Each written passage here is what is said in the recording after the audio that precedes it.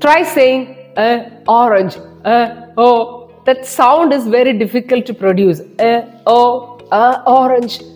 Understand? Sadguru Sharanam. Hi dears, how's it going? The topic of this video is right versus wrong. Some sentences are right, some are wrong.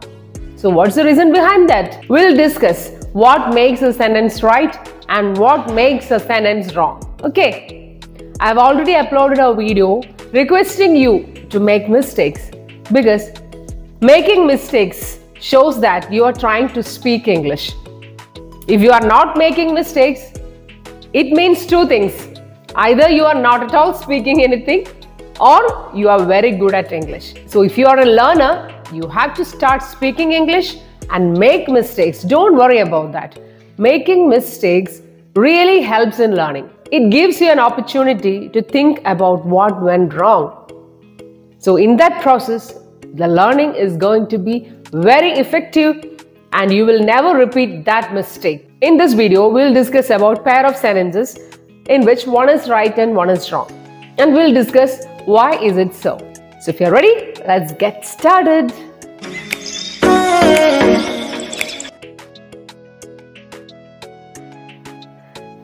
So before we start, please subscribe our channel and if you like this video, please like it, share and please put your valuable comments.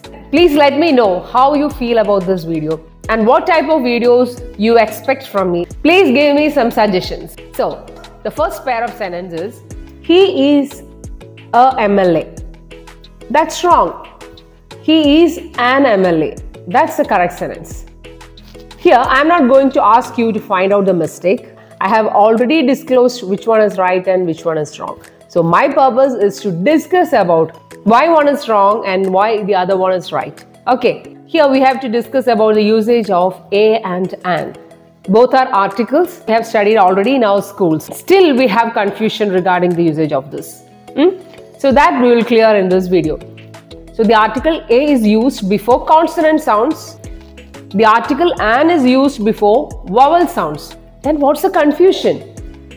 One confusion is you don't know how to identify a vowel sound. When using articles a and an, we have to focus on the ease of pronunciation. Okay, we have to pronounce it easily. Don't focus on the letter. Focus on the sound that letter is producing. So A is used before consonant sounds and an is used before vowel sounds. Examples an eagle, an R, an orange, an MLA. Why is it so? If you want to really understand why an is used before a vowel sound, instead of an eagle, just try to say a eagle. When you say a eagle, you feel suffocation here. Okay, the transition is not smooth because after pronouncing A, our mouth is opened like this A. Then try to say eagle. Again, we have to keep our mouth open and pronounce the next word eagle, resulting in a little bit of suffocation. A eagle. Understand? A eagle. So the transition is not smooth. But just add N after A.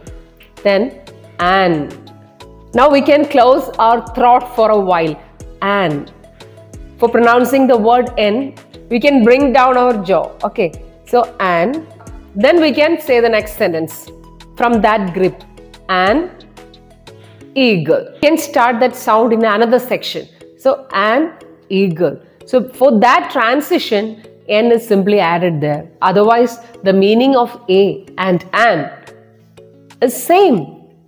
1. The meaning is 1. N is simply added to bridge between two vowel sounds. That's all. There is not any serious thing behind that. This simple transition is what is expected. Try saying a orange, a oh. That sound is very difficult to produce. A oh, a orange.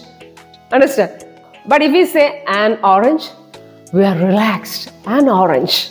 We are getting a grip with that N sound. When using articles a and an, don't focus on the letter. focus on the sound that letter is producing. Hmm? Then you say which article to use before hour. H O U R. A or an. A little bit confused, isn't it? Why? Because H. H is a consonant letter. We have studied like that. And now I'm telling you we have to add an. Why is it so? An hour. We are adding an before hour because even though the spelling is H O U R, we are not pronouncing H as ha. H is silent here and the sound in the beginning is a, hour, an hour. That's why I told you don't focus on the letter. Focus on the sound of the beginning letter. But this one example will make it more clear for you. What is the article that we use before the word hotel? H O T E L. Can you say A or an? The answer is a hotel. Why is it so? Again, you might be wondering. Because here we are pronouncing the letter H as ho, hotel, hotel. Ha sound is prominent here. So, naturally, we have to use a, a hotel. Got the point? See one more example. It's a university, but an umbrella. In both these words, the first letter is U. Hmm? Okay. You are confused? Don't get confused. Just listen the pronunciation, the sound which it produces. In the first word, a university, the sound is ya, u, university. The letter is u and the sound is ya. Okay, ya sound. That's a consonant sound. So we can use A, A university. But see the next word, umbrella. The letter is U, but the sound is A. It's A, umbrella. So naturally, A is a vowel sound. So we have to use an before that. So an umbrella. Got it clear? So we'll move on to the next pair of sentences. You must give him a good advice. That's wrong. You must give him some good advice. This is right. Why? What's wrong with a good advice? The word advice is an uncountable noun. So before uncountable noun, we cannot use a, which means one. We have to use a before countable nouns only. So what are countable nouns? Nouns which we can count. Example, we can say one apple, two apples, three apples, one book, two books, three books. We can count it. But can we count advice? No. We can never ask how many advice. No. Advice is an uncountable noun. So before uncountable noun, we cannot use the article a which means one. Understand? So we have to use the word some. Please give him some good advice is the correct answer. Got the point? Do you say give me a water? No. Why? The same reason because water is uncountable. But, but you can say give me a glass of water. That's right. Why? Because glass is countable. We can count the number of glasses. So give me a glass of water. Give me two glasses of water. That's right. Please give me a bread. It's wrong because bread is uncountable. But you can ask, please give me a slice of bread or you can ask, please give me a packet of bread. I want a furniture. It's wrong. I want a piece of furniture. Right. Because furniture is uncountable.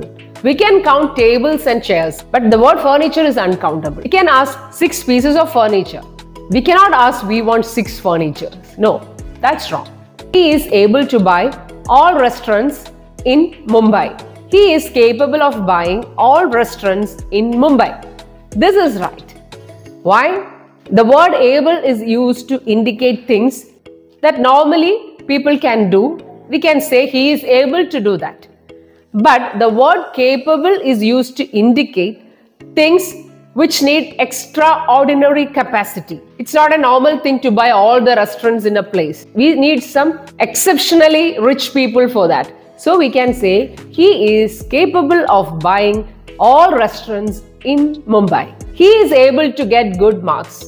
That's right. To get an IAS, they need some extraordinary power. He is capable of getting IAS. So please note that capable is also used to indicate someone's future potential. She is able to sing that song perfectly after hearing it only once. That's normal thing. But she is capable of becoming a successful musician.